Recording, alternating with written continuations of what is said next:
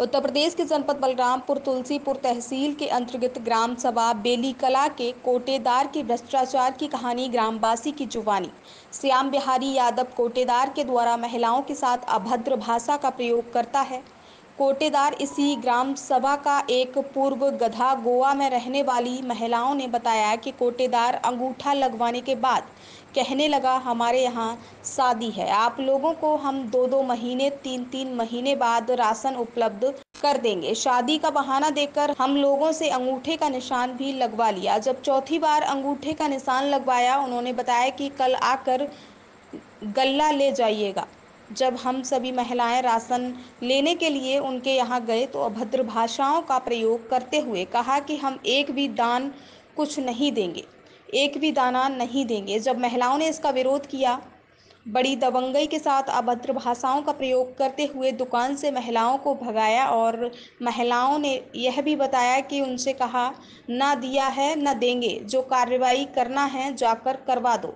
हमारे विभाग वाले हमें अच्छी तरीके से पहचानते हैं और जानते हैं, और हम उनका सम्मान करते हैं, कोई मेरे खिलाफ कुछ नहीं कार्रवाई कर सकता। अब ऐसे में देखा जाए तो प्रधानमंत्री जी की गारंटी योजनाओं पर फिर रहा पानी। अब देखना यह है ऐसे कोटेदार के खिलाफ जिम्मेदार अधिकारी क्या एक्शन लेते हैं? क्या नाम? शकुंतला नाम है आपका। कहाँ रहती हैं आप? गदा खुआ। गदा खौआ में। ग्राम सभा क्या है? बेली कला? बेली कला। अच्छा। कितनी बार आप लोग गई? कितनी बार आप लोग गई हैं? चार बार चार बार गवा का मुँह अच्छा। वाली कहीं नफी बात दिया बा और जब गवा का दोबारा तब कहीं ना दिया बा गल्ला गाड़ी हुआ दे लगे और सभी भाग भगाए दिन कहीं यहाँ के बलावा रहा। अच्छा, कब- हम लोग गैन हुआ कागज़ लगा हुआ हाँ। तब से आप तलुक नहीं फिर। दस हज़ार रूपया महीना भी देता है। क्या कहा? कोटेदार हाँ कहीं हम दस हज़ार रुपया महीना तो जब का कही अच्छा। कुछ नहीं हो- हाँ कुछ नहीं हुआ। आप यहाँ लो, आप लोगों ने आप लोगों ने अपने ग्राम प्रधान से कहा कभी प्रधान साथे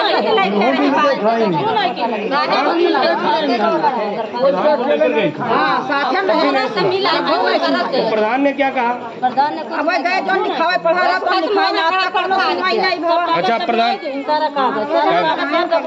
हाँ। चार महीना से ना हम लोगन दौड़ाए मारे रहे थे हम जब जाने नहीं हम लोग दोनों साथ में पीते खाते हैं वो उससे पैसा ले लिया क्या है दादा उससे पैसा लिया है प्रधान हाँ। कोटेदार से। अच्छा। और दोनों साथ में पीते खाते हैं। ग्राम प्रधान। हाँ। ग्राम प्रधान कौन है? राम सभा राम सभा यादव। सभा यादव। हाँ वो भी यादव। अच्छा दोनों यादव हाँ। दोनों। दोनों यादव मिलकर इस ग्राम सभा की जनता को बहुत ही ज़्यादा दिक्कतों का सामना करना पड़ता है और कोई प्रशासन का व्यक्ति सुनने को तैयार नहीं। आइए कई व्यक्तियों से जानकारी ली जाए देख दिखा सकते हैं कि कितनी भीड़ें लगी हुई है। सारे ग्राम सभा के वासी ये अपना दर्द बयां कर रहे हैं। क्या नाम है भैया? रियाजुद्दीन। रियाजुद्दीन। कितनी